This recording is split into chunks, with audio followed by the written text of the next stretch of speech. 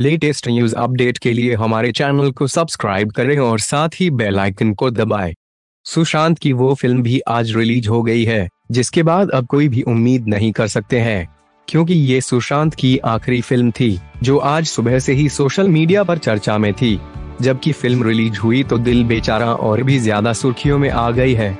वैसे बहुत से लोगों ने फ़िल्म देख भी ली है और उसको लेकर अपनी प्रतिक्रिया भी दे दी है कि ये फ़िल्म कैसी है। तो आइए जानते हैं कि फ़िल्म देखने के बाद लोगों ने फ़िल्म के बारे में क्या क्या कहा है। जोगिंदर टुटेजा ने ये फ़िल्म देखने के बाद कहा कि दिल बेचारा एक खूबसूरत आत्मीय फ़िल्म है और जो हर तरह से मनोरंजक है। प्रेम कहानी दिल से बुनी गई है और इसीलिए जैविक है।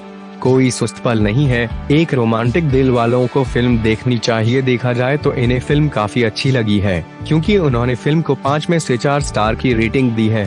इंडियन बॉक्स ऑफ़िस लिखते हैं कि दिल बेचारा खूबसूरत फ़िल्म है। इमोशनल से भरी हुई, खासकर दूसरे पार्ट में, दिल तोड़ने वाला क्लाइमेक्स अच्छे गाने, सुशांत सिंह राजपूत और संजना सांघी द्वारा ज़बरदस्त एक्टिंग आविष्कार नामक एक दर्शक लिखते हैं कि दिल बेचारा देखकर पूरा किया। पिछले 20 मिनट में ऐसा लगा रहा था कि जैसे मैं फ़िल्म में जी रहा हूँ।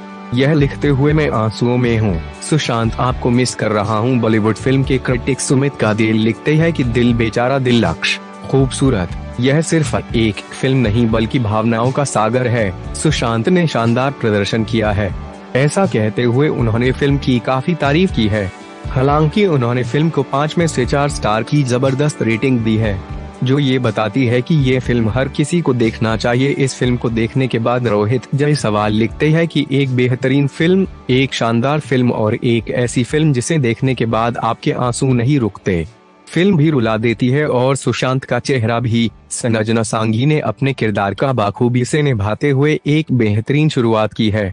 ऐसा कहता हुए उन्होंने फ़िल्म को चार स्टार की रेटिंग दे डाली है।